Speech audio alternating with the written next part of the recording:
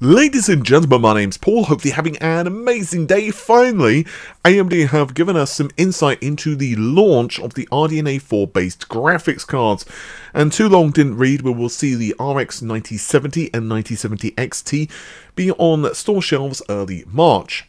So, the first of these pieces of news actually comes to us from Lisa Su. She is, of course, the AMD CEO, and during the Q4 2024 earnings call, she said, and I quote, In gaming graphics, revenue declined year over year as we accelerated channel sellouts in preparation for the launch of our next generation Radeon 9000 series GPUs. Our focus with this generation is to address the highest volume portion of the enthusiast gaming market with the new RDNA 4 architecture. RDNA 4 delivers significantly better ray tracing performance and adds support for AI powered upscaling technology that will bring high quality 4K gaming to mainstream players.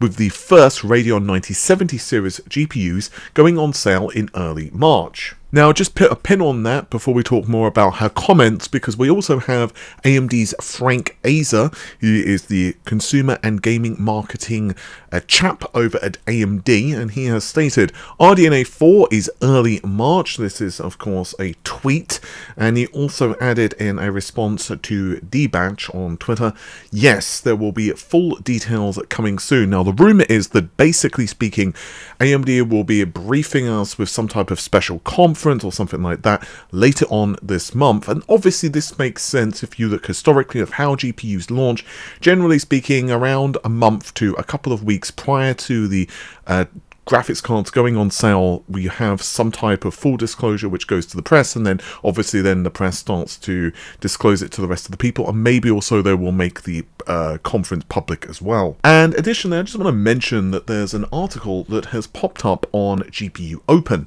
Now, this was posted today, which is the 6th of February 2025 and uh, the title is Solving the Dense Geometry Problem. I'll leave a link to this in the video description. I'm not going to go over the entirety of the article because it starts to get into a lot of technical nuance that uh, would eat up lots of video time, but uh, if you scroll down just a little bit, solution, hardware geometry compression. Dense geometry format is a block-based geometry compression technology developed by AMD, which is directly supported by future GPU architectures. It aims to solve these problems by doing for the geometry data what formats like DXT, ETC, and ASTC have done for texture data. I won't read out the rest of that, but if you so desire, you can pause it and then, of course, read it on screen. Now, again, that is almost certainly a reference to RDNA 4. I mean, I don't think that they would be putting this article out for UDNA, um, or I guess if you want to say the older uh, name, RDNA 5. Now, getting back to Lisa Su's comments, there are a couple of actual key takeaways here. The first, and perhaps the one that uh, may be slightly less interesting to many of you, is that the 9070 does seem to be the cards which launch the soonest. I say that because I think most of you are probably slightly less interested in the 9060, although maybe I'm wrong, so let me know in the comments if I am. So it seems that the 9070 and the 9070 XT will be the first cards available, and then later on we will see the lower end GPUs launch. This seems to be a little bit like uh, Nvidia's strategy, of course, with the RTX uh, 50 series as well as previous cards, so I'm not too surprised by that. However, there are a couple of other very interesting disclosures here. The first is that AMD are stating that yes, there is significantly better ray tracing performance and I think that that word significant is actually quite key. Now of course AMD have been pretty tight-lipped when it comes to the performance of these GPUs. They did release that slide that we've seen a hundred times at this point to the press around the time of CES but it didn't exactly go deep into the performance capabilities of the GPU. For what it's worth, I am hearing that uh, yes, there are some updates that AMD have been making, and this is also uh, pretty much what they've said publicly as well. So there does seem to be some work that's happening with the drivers and the optimization and potentially FSR as well, but just how much of an impact it makes, I honestly don't know.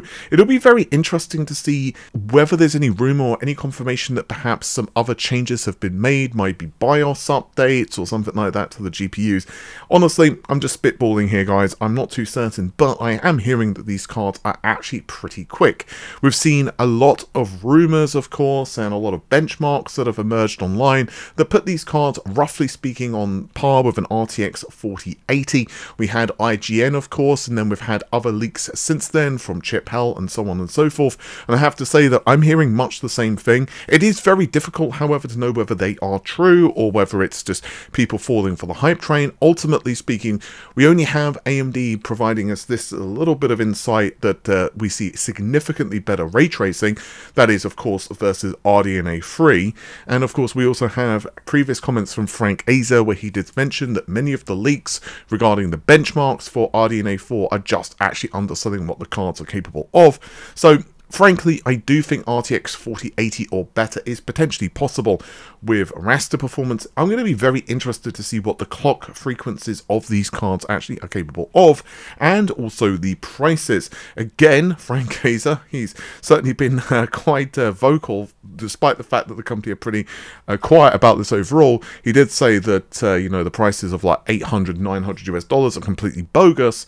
So that actually to me is a really positive sign. At the end of the day, the RTX 5080, for example, and even the 5090, they are not bad products. The problem is they just don't offer enough of an upgrade if you have an RTX 40 GPU. But that's not necessarily a bad thing. Like, even though RDNA 4 is roughly on par with the current generation flagship. Let's just ignore 5 or 10% here or there. Um, we're focusing on raster performance here. If it's at a good price, honestly, that is fantastic because not everyone has a 7900 XT or a 7900 XTX. Many folks are just upgrading their system or maybe are coming from, an, well, just a very, very old PC or just getting into PC gaming, so that's also good. Additionally, I am very interested to hear what you guys think about this particular little part of the sentence.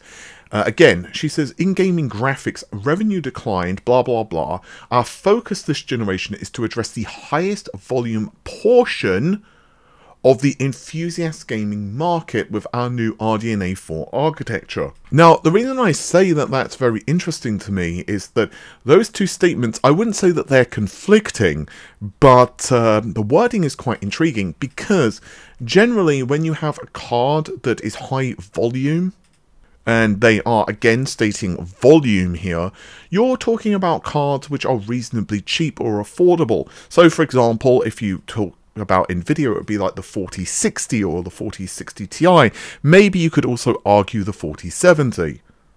But the enthusiast market is generally a little bit faster. So again, maybe that is a hint of where we can expect these cards to be priced and also the performance as well. So there you have it guys. I will be very interested to see how these GPUs end up. I will also be very curious to see what Nvidia does um, in response to RDNA 4. The marketing, I think, for these cards will be absolutely, well, let's just say it's going to be interesting.